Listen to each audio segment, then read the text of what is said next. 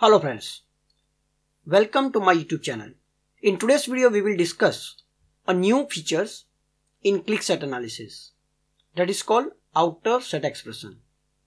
This is an Excel file and sample data which I am going to use for this application.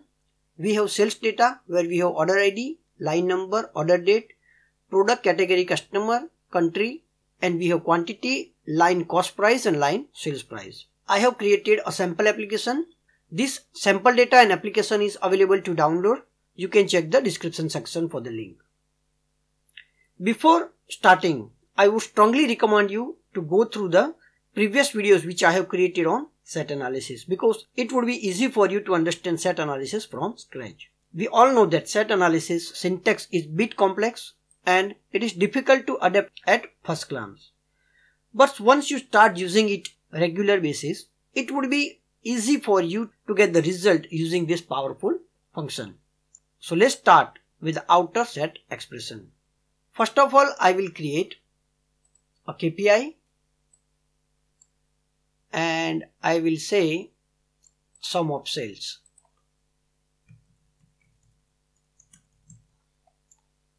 So this will give me total sales and the total sales we can see from here 243,552. Now say our requirement is to get sales of selected year. So if say I am selecting a year 2021 then I should get sales of 2021 but if I haven't selected anything then in that case I will get the sales of maximum year that is 2022. So we can do something like this here I will use set expression here and I will say year equal to my maximum year inside the dollar sign expression. So I am getting 122291 which is the sales of my year 2022. If I will select 2021 I will get sales of 2021. So if you see here, the set expression which is inside the curly bracket, this set expression is called as an inner set expression. Qlik has now implemented outer set expression. This new syntax will work for all Qlik Sense from August 2022. In QlikView, they will implement from late spring 2023. So if you are working on older version of Qlik Sense, then I would strongly recommend you to upgrade Qlik Sense or apply the latest patch of your release. I'm not sure that applying the latest patch, the outer set expression will work, but it is worth to try. Say the requirement is we want sum of sales for the selected years for category audio only. Then we can add another set modifier here and I can say category equal to audio. And now I will get 26085 so we can match this by selecting 2022 and 26085 for audio.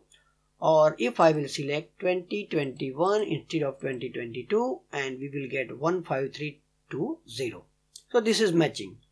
So here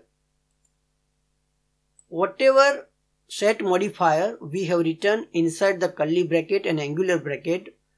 They are a part of inner set expression. So what is outer set expression?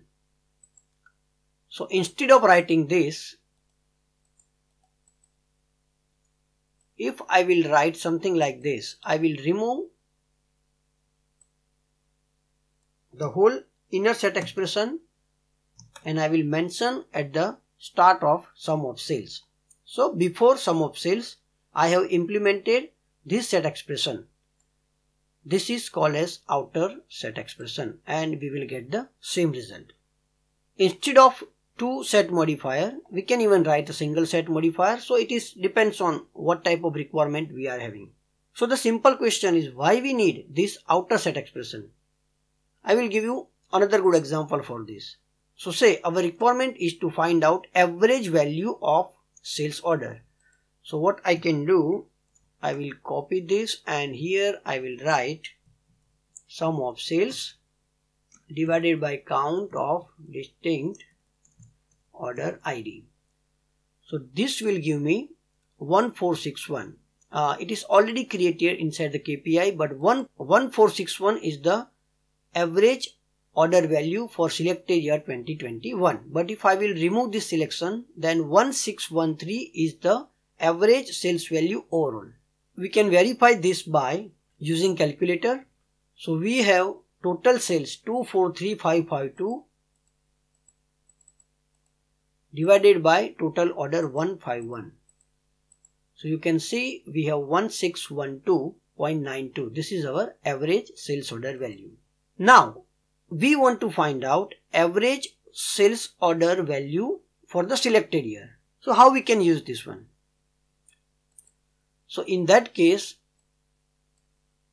you have to write down something like this.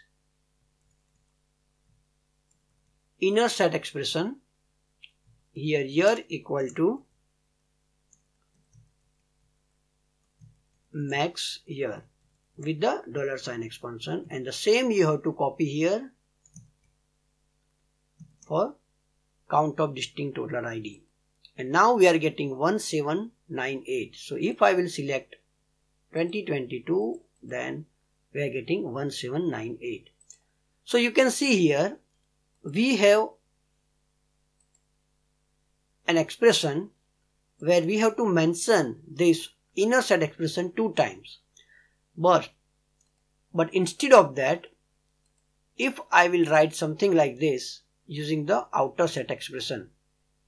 So instead of mentioning two times I will mention once here and I will remove this inner set expression from count of distinct order ID so this set expression which is an outer set expression will in implement in whole expression so now you will see that we are still getting the same result. So it is easy to modify our expressions. So this is the first use case. Second thing is say we have created a master measure. So I have a master measure for average order value.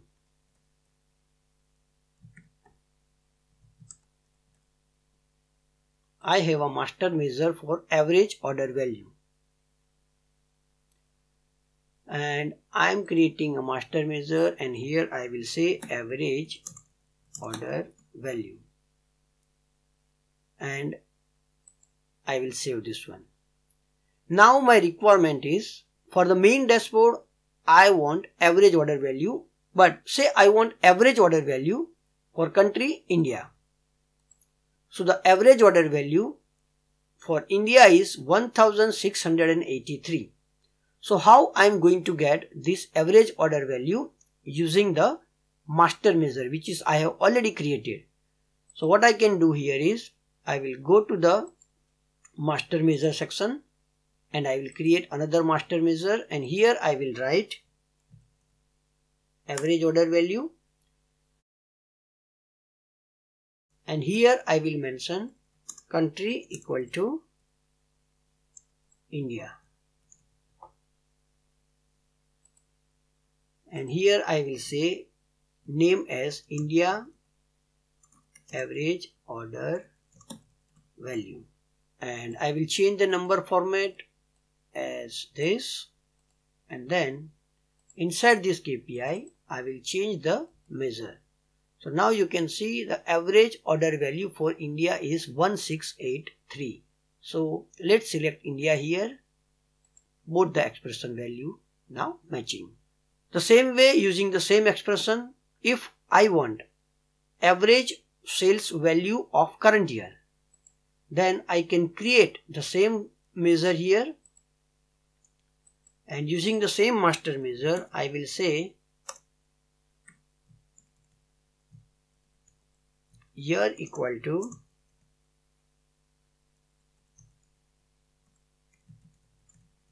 my max year inside dollar sign expansion. And here I will say selected year average order value. And I will change the number format here and I will say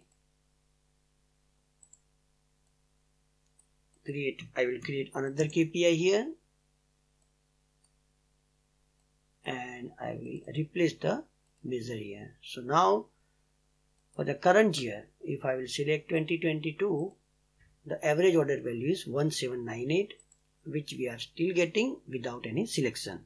So this is about outer set expression. I don't want to make this video bit lengthy. So in a part 2 I will show you what are the different things we need to consider when we will use outer set expression. Till now thanks and have a good day